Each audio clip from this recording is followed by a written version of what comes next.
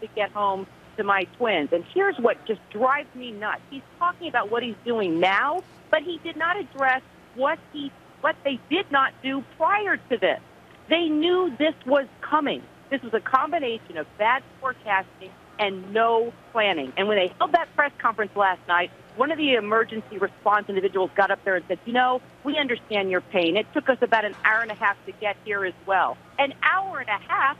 You know what? Say that to the woman at the CVS that I met who's eight months pregnant and couldn't leave and is still there this morning. Say that to the woman who gave birth on the freeway because she couldn't make it to the hospital. Even say it to me and colleagues who couldn't make it home last night for up to 10 hours. It's ridiculous. And how about the kids that were in the school buses that I saw as I was walking home at the middle of the night, freezing my bum off? I mean, I can't believe the way he's talking. They screwed up, Carol, and they need to own it, and they need to realize what they need, or, or they need to implement something differently. And he mentioned 2011. Yeah, people had warning in 2011. I was a part of that. I remember people stayed home. That's why it wasn't as bad as this time. People weren't told to stay home soon enough. Schools should have been canceled, and we shouldn't have been in the predicament that we were yesterday. Well, here's what the mayor said about that, Kyra. He said, Hey, I'm not in charge of closing down schools. That would be the school superintendent, right? I'm not in charge of the highways. I'm only in charge of the roadways within the city of Atlanta. And as far, you know, the reason the city came to a standstill is because um, the schools were closed, businesses closed, and government offices closed all at the same time. So everybody was leaving at the same time, which caused huge traffic jams, which meant even if the salt trucks were present, and I personally didn't see any, they couldn't get through the traffic to spread the salt on the roadways. Now, the mayor did admit there could have been better collaboration between public officials.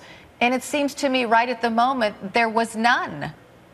Wow, let's talk about 9 11 and how nobody was communicating. Did we not learn anything from 9 11 when public officials were not communicating with each other? And you know what? I'm sorry, Mr. Mayor. You're in charge of this city and the safety of this city. You knew what was coming. As our good friend, Lieutenant Honore, Russel Honore said, who led us through Katrina, sometimes you just got to break the rules and not put up with the bureaucracy. Call the shots as a leader, be a man, and take charge. Don't blame it on other people. He should have coordinated with all those leaders, whether it was the school superintendent or whomever, hey, emergency, let's all communicate, let's make a decision. I'm the mayor, I think we should do this.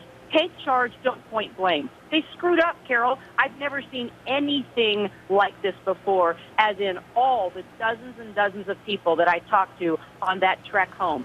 People were desperate. I have never seen people this desperate in our city, and I've never seen them stranded this long. There are still people all across this city in schools, drugstores, grocery stores. They look like homeless people spread out on the floor. And I've been sending in pictures all through the night and the morning. People still can't get home. That's ridiculous. Oh, you're absolutely right. One, what a